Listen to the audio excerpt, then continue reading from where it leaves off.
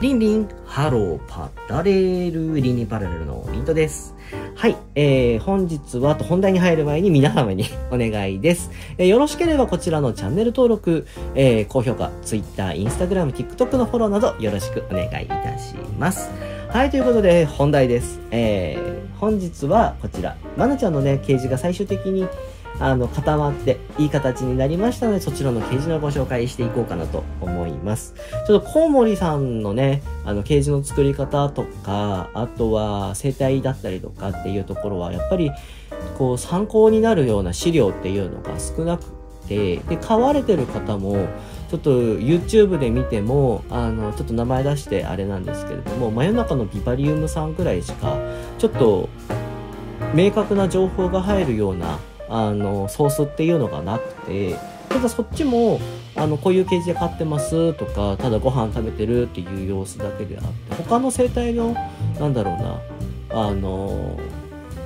性質上なもの、あの、この子たちの個性じゃないですけれども、その、その生生態っていう言い方ですね。あのどういうふうに生活しているのかっていうところに関しては、あんまりやっぱり動画が少なかったので、そういう部分をちょっと私出せたら出したいなと思っております。ちょっと日々観察しながらですけれども、っていうところですね。で、まあ、これの前の動画に上がってるんですけれども、結構調べてみると、怪我をして亡くなってしまっている子っていうのが多いっていうのは聞いていて、うん、なんかそういうのもね、あの、あそうなんだとは思いましたけれども、まあ、もしよろしければそっちの方でね、あの、動画撮ってますので、あの、見てみてください。なんかこういう性質とか生態なんだなっていうところで、こう野生下ではもしかしたらこうやって暮らしてるのかな。まあ、野生下だと天敵に食われちゃうことが多いみたいですね。なので、寿命もなんか野生下だと5年、6年ぐらいで亡くなっちゃうみたいで。で、飼育下だと20年ぐらい生きるみたいで。で、飼育下だと天敵いないし、あと飛ぶのがね、やっぱり見たら下手ですね。あの、飛ぶ時にバサバサバサって、こう、なるじゃないですか。で、上に行くんじゃなくて、そのままもう、グライダーのように、スードンって床に落ちてしまっていて、あ、そら怪我するわと思いましたね。あの、受け身もあんまり取れてないので、このまんま、羽のこういう状態で床にドテンって落ちて、で、そこでバタバタバタバタバタバタバタってやってて、そりゃ怪我するし、天敵にそのまま食べられるねっていう状態でしたね。で、頑張ってなんか登れるところに登って、ちょっとずつこう上に足で登っていって、だから飛んで登るっていうよりはもう、掴んで登る。なんかね、動き的にはその時だけ見ると、あの、怠け者がうんちして上に戻っていく時の行動みたいでしたね。あの、怠け者ってうんちする時下に降りるんです。で、降りた後にゆっくりこう、手をかけて上に登っていくんですけど、それにちょっと近かったですね。はい。っていうところでした。なので、ま日々観察した上でこの子たちのケージ作りっていうのを今している状態ですね。ただこれで決定校かなと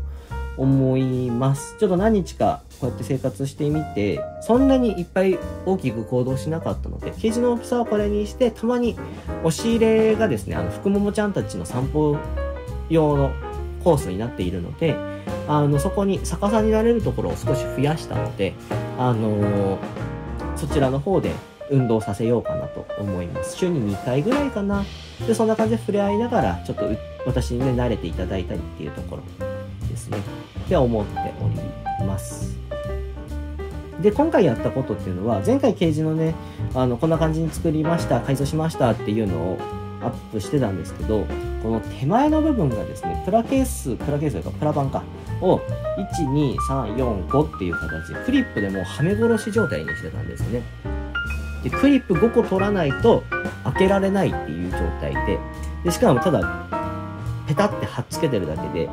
あの、なんだろう、またその位置に合わせてこうパチンパチンパチンパチンって貼らなきゃならないっていうので、ちょっとめんどくさいなってなったんですね。で、まあ、開閉できるようにはしたいなとは思っていて、で、そのプラ板つけている缶は、毎回この上の部分をね、こうフック外して、こういう感じでね、中のメンテナンスをしてたんですけども、メンテナンスのたびにこうやってね、こう上に乗っかってるマナちゃんが移動してしまうのって、ストレス溜まりそうだなと思って、まあ、上のメンテナンスでこうやって開けられるように2点ロックだけにしてて、あの横のロックは噛ませてないんですよ。この子の力だと、その部分から出てくっていうことはなかったし、普段はね、今ちょっと外してますけれども、この上に、こういう感じでヒーター乗っかってるんで、より一層重みがあるので、あのー、この子の力じゃ、こじ開けることはできないので、2.6にしてるんですけれども、普段ね、その、ま、毎回その、ヒーター外して、これやってっていうのはめんどくさいなと思ったので、これ開閉できるように改造しました。で、改造した時の状況としては、な、どこをどう改造したかっていうと、まずね、ここまずクリップ。2個になります。これがロックですね。前面の。で、ここを、こんな感じで開閉ができます。で、上がですね、こういう感じで、えっ、ー、と、金属の網をですね、このサイズに切って、えー、ここと、ここと、ここを結束バンドでくっつけて、で、ここをね、クリップでこのプラケースをね、プラケースというかプラ板を貼っている状態になります。で、下は特に何もつけてないです。あの、そのまま、このクリップでね、止めるだけっていう感じです。プラ板を横からね。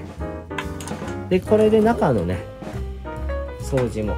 しやすい状況にはなります。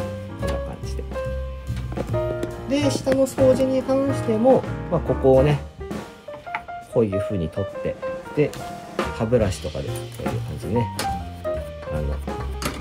掃除をしてあげて。で、あと全部一応クリップとかは外すことができるので、丸洗いもできます。なので、全部外して、あの、お風呂場で丸洗いしてっていうことも可能になってます。普段のお掃除は、まあ、下にうんち溜めて、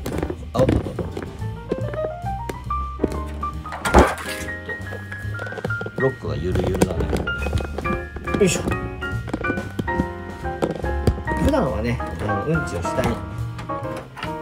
溜めて、で、溜めたやつをここをね、取り出して、えー、洗うみたいな感じになるかなと思います。はい、これでね、かなり観察もしやすくて、中の視認っていうところがね、しやすくて、より一層ね、あの、掃除もしやすく、メンテナンスもしやすいっていう状態に変えました。で、ここもね、あの、全部取れるので、安心ですね。で、プラスもう一個の改造としては、あの、この網が、あの、この鳥ちゃんのケースのこの下についてた網を切って、ここにつけたんですよね。で、あの、余った部分のパーツをここにつけました。ちょっと降りるときにですね、あの、ちょっと前の動画見ていただくとわかるんですけど、降りるのがちょっと下手っぴで、なかなか下までうまく降りれなかったので、ちょっと、多分ここの長さがね、この子にとってはちょっと長いんでしょうね。あの、足をこうグッと上げるには。なので、あの、横の掴めるところをちょっと増やしました。で、することで降りてご飯を取って上に戻るっていうのをしやすい状態にしました。まあ、あそこだけなんですけど、この子の生活スペースとしてはもうこの辺だけなので、そんな感じでやっていこうかなと思います。この子もね、撫でられるのはもうな、あの、慣れてくれましたね。触られるのも嫌な子はこの時点で首ぐーっと引っ張ってきて噛みつこうとするんですけど、それもないですね。さすがにこの辺の首の近くやると嫌がって噛もうとすることはたまにありますけれども、こんな感じです。で、これ以上そんなに大きくもならないみたいなので、まあ、まだわかんないですけど、まだ生まれて1年も経たないぐらいなので、あれですけれども、まあね、これから大きくなったとしても問題ないかなというケージですね。まあ、羽広げると結構こんな感じでね、広、あの、大きく開かさってしまうんですけれども、そんなに普段開いてるところもないですし、その辺は、あの、まあ、日々また観察してですね、あの、怪我しないかどうかっていうのは日々観察は必要なので、あの、怪我しそうだったらまたちょっとケージのね、大きさ考えたりだとか、ちょっとやっていかなきゃならないでしょうけれども、今のところは問題なさそうなので、こんな感じでやっていこうかなと思っております。ちょっと日々観察しながら、ね、念願かなってうちに来た子なので、ちょっと私もね、日々、えー、ケージのね、状況っていうのを見ながら、ケージと、ケージの状況と、この子のね、状況を見ながら、えー、いろいろと様々なね、やっていこうかなと思っております。とりあえず、これでまた、ちょっとしばらく生活してもらって、えっ、ー、と、中の視認のしやすさプラス、えっと、掃除のしやすさとかも考えながらやっていこうかなと思います。あの、すくすく育っていってくれてて、ご飯もね、もりもり食べるので。ちなみに今のご飯なんですけれども、バナナに、えっと、袋ももんがちゃんに与えているフードをまぶして、あとカルシウム剤少しだけまぶしてあげてます。結構それでね、食べてくれてます。で、たまにリンゴをあげてますね。あの、リンゴの方がですね、ちょっと高くて、うん。バナナの方がね、コストパフォーマンス的にはいいので、バナナだと5本で約200円もしないぐらいで買えるので、まあ5日分ぐらい持つので、バナナにして、えー、リンゴはたまに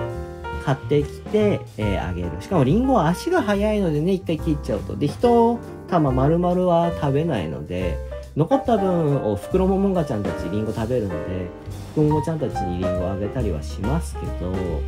うん、それでもねやっぱり余ってしまう方の方が多いので基本バナナ1本を毎日かなっていうところでございます。うん、基本的には今はそんな感じですね。えー、近いうちにこの子の飼育に関するあのやり方っていうところあの、まあ、そもそもコウモリちゃんをお迎えするっていうことは少ないと思うんですけども私が実践しているコウモリちゃんの飼育に関するお話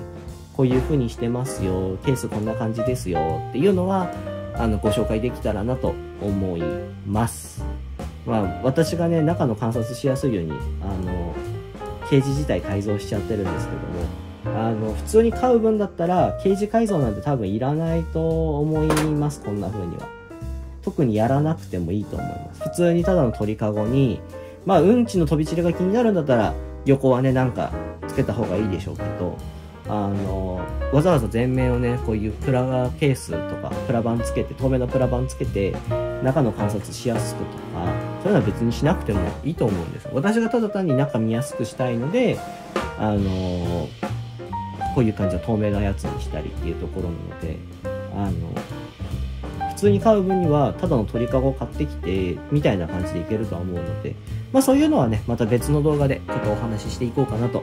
思いますはい。ということで本日は、えー、まなちゃんのね、ケージの改造、あの、大体、一通りできましたよというお話です。はい。もしよろしければこちらのチャンネル登録、高評価、そして Twitter、Instagram、TikTok のフォローよろしくお願いいたします。また、過去にたくさんね、900本ぐらい動画上げておりますので、よろしければそちらの動画も見てみてください。それではまた次回の動画でお会いいたしましょう。ということで、以上、リントでした。バイバーイ。最後までご視聴ありがとうございます。チャンネル登録はこちらから、Twitter のフォローは概要欄から、その他のおすすめ動画はこちらからよろしくお願いいたします。ということで、以上、リントでした。バイバーイ。